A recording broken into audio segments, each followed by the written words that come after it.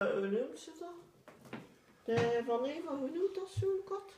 Een Bengaalse